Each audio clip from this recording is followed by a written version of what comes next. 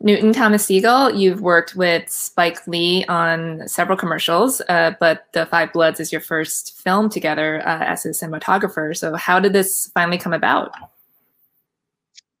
Uh, Spike called me, and uh, I said yes. Uh, uh, I've known Spike for a long time, um,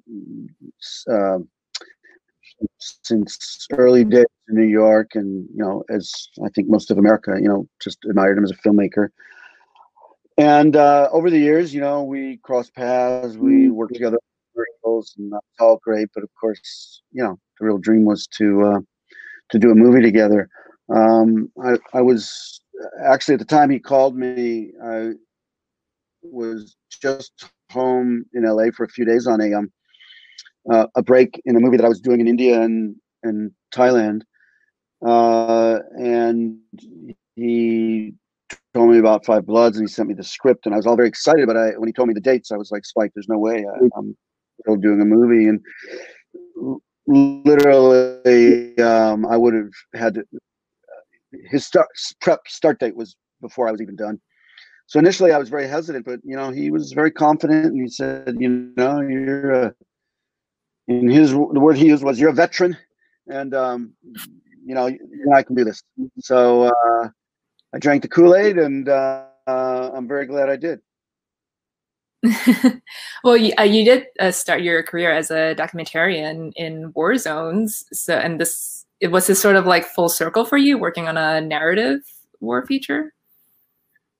Well, I think the you know the material is is something that um, is very close to me, and and um, you know was uh, you know a time period and a period of history that I, I grew up with, and so first of all, to be able to do anything about that subject matter was was really attractive, and then uh, you know I I did do a lot of um, sort of war zone documentaries in my early days, and so I think um, to be able to relive that in a slightly safer venue where the bullets weren't real was nice uh, and I tr- tried to bring some uh, of that experience and technique, um, you know, into into Spike's movies as, as best I could.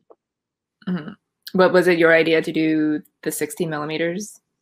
Mm, well, you know, we talked about how to do the flashbacks and how to give them a, uh, their own sort of voice, so to speak, and um, uh, I uh, it seemed to me that why not do it the way I would have done it, you know, if I was doing it in 1970, uh, and that would have been on film. It would have been 16 millimeter. It would have been reversal film, most likely like a video news film or something like that. So um, uh, I, I, proposed it, and um, you know, I think what really resonated for Spike was the verisimilitude of it. That that that is the way it would be done. So um, we made the decision to shoot in 16, and I was able to get Kodak to make some reversal film for me. It's a it, it, it's kind of a hard um, hard thing to come by these days. Uh, uh, and then the trickiest part was you know finding a lab that could process it um, uh, and being able to get it uh, you know from Thailand and Vietnam back to back to the U.S. and turned around in time. Um, as it turned out, we only had Chadwick uh, Boseman for two weeks, uh, so um, we ended up shooting his material, sending it off, and really not even getting it back until he was done. Uh, there was a, a, long turnaround time. The lab that was doing it back in uh, the states, um, Spectra is, is a small, as you can imagine, a boutique operation. So they don't, don't exactly run 24 7. And um, uh, we just had to do a leap of faith. But, you know, having spent my entire life shooting film, and I felt fairly confident about about my end of it. Um, mm-hmm. And it was just a question of what was going to hap- happen as it as the film made its way across the globe into the you know into into the hands of this small lab. Yeah. Did you get any pushback about using 16? Um, not so much pushback as you know there was a lot of concern from uh, uh, production about uh, cost, uh, the logistics, um, that kind of stuff. Um, but I think Spike's, um, you know, belief in it and belief in the, um, you know, what it meant to be able to to really do it the way the way those newsreels would have been shot, um, you know, was very persuasive, and consequently, um, you know, once the decision was made, Netflix was, you know, was was very supportive.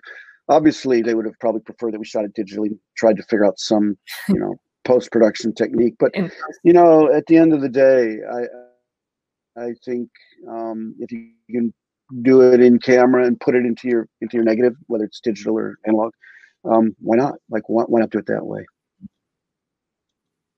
Uh, well, you use uh, multiple formats and aspect ratios, and the contrast is so striking between the scenes. Because the present day Vietnam in the beginning, it's like vibrant and sleek, and then but it gets like moodier and wider when they're in the jungle, and obviously the flashbacks look completely different. So, what was the prep like for this undertaking? Well, as I mentioned earlier, you know, we had a very um, short prep time, much shorter than I would have preferred for a film of this scale. Um, so, you know, to a certain degree, it was, you know, flying by the seat of your pants and and just on, you know, the experience that I've had making movies all my life and and Spike himself. Um, but the um, you know, we we we had to kind of draw on our own on uh, our own learned and shared experience. Uh, and shooting film, you know, I'm very comfortable with it. It's, it's, it's, I've done a lot more of that than shoot digital. So um, I wasn't so much worried about the, the, the, um, the shooting of it. Um, uh, but it, it was uh, a very intense prep period for sure. Uh, Spike likes to work very quickly. He's a very decisive filmmaker. He's collaborative, but he once he's made up his mind, you you move on. You don't second guess anything. You don't um, you know revisit decisions. You you you you you discuss a, a, a, a technique or a or a plan and you execute. You know the aspect ratio. You know the the four by three of the newsreel footage really was what kickstarted the whole idea of using the aspect ratio as a as a as a um, uh, you know a part of the aesthetic of the of the movie as a whole.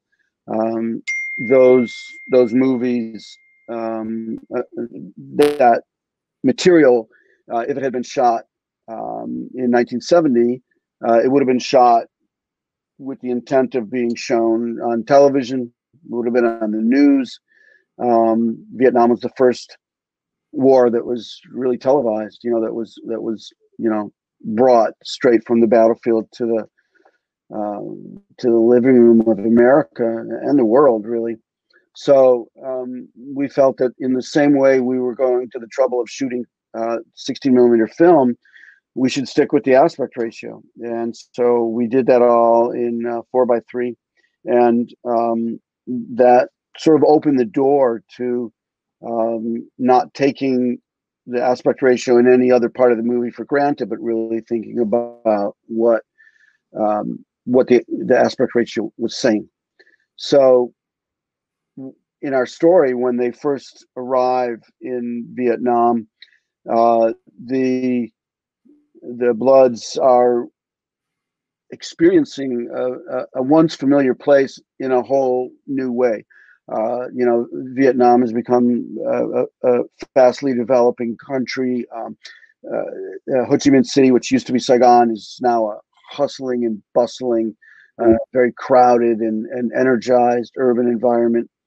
So we um, started the movie in a in a kind of very cinematic, modern, you know, uh, two four zero um, aspect ratio uh, and we saved um, the transition to the jungle when they finally they set up all of their preparations and they make their journey into the jungle. We went to 185, and what's interesting about this, even though the film was meant to have a theatrical release, in uh, in the in the in the Netflix world who who supported the film, the delivery system is going to be uh, televisions, uh, iPads. That's the way that people are going to see it. So, unlike in a in a cinema, in a in a in a physical theater where you might see a a, 185 movie or or the screen is set up that way, and then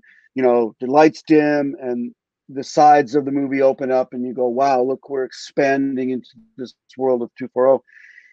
In the um, uh, delivery system of a, of a of a television or iPad or something like that, you're if you're going from 240 to 185 and you make the decision to go this way, you're actually expanding, you're opening up the the frame.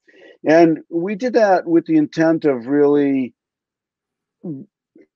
expressing what it was like for these guys to go from this new experience of Ho Chi Minh City today into a reliving of the environment that they had experienced when they were in the jungle fighting uh, in, in, the war.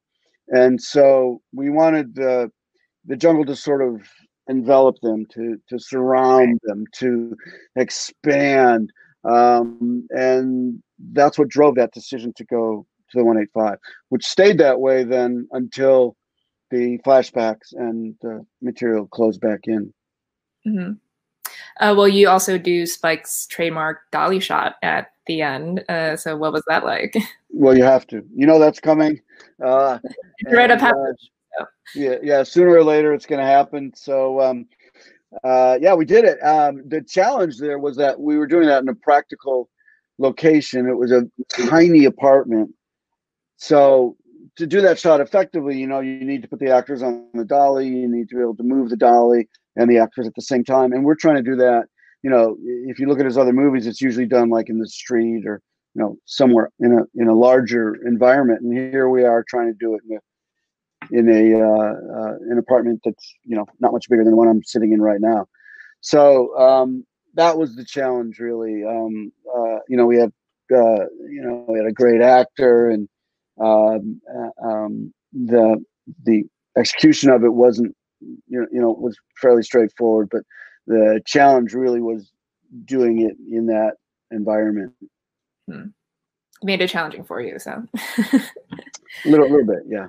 Yeah. Uh, well, thank you so much for your time. It was great speaking with you, uh, and You're we'll welcome. see you back for the group panel.